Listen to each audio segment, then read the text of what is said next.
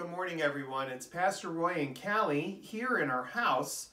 Boy, we just had a whopper of a winter storm, didn't we? And I have to tell you, my back is really sore from shoveling our driveway, our sidewalk, and all the entrances around the church.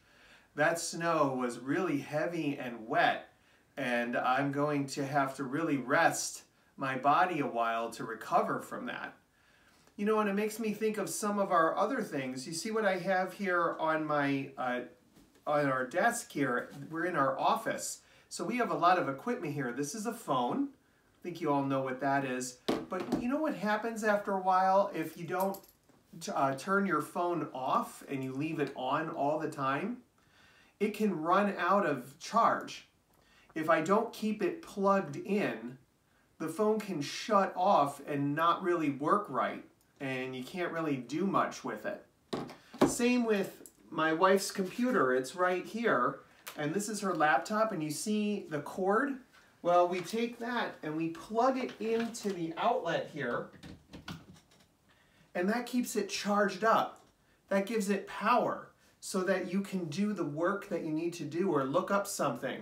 Maybe you have some devices that you use, like a computer for school right now and you're going on your computer to learn and see your teacher and see other things.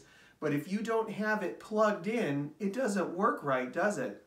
Same with a lot of the things in our house. We have to plug them in and get them charged up so that they work right.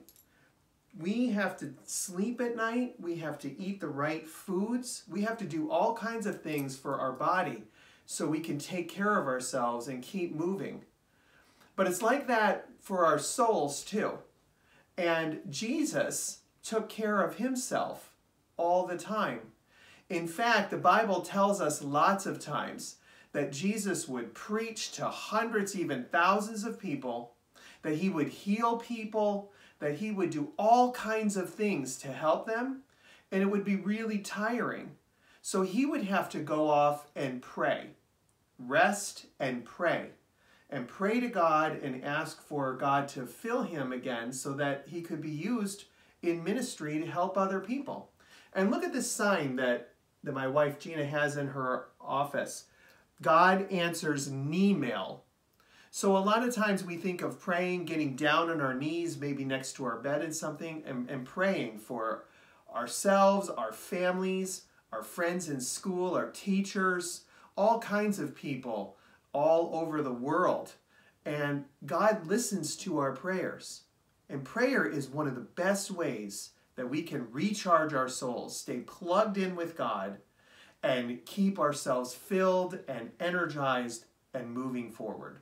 When we pray, we connect just like we connect to an outlet, and God fills us and helps us in ways that we may not even realize right at first.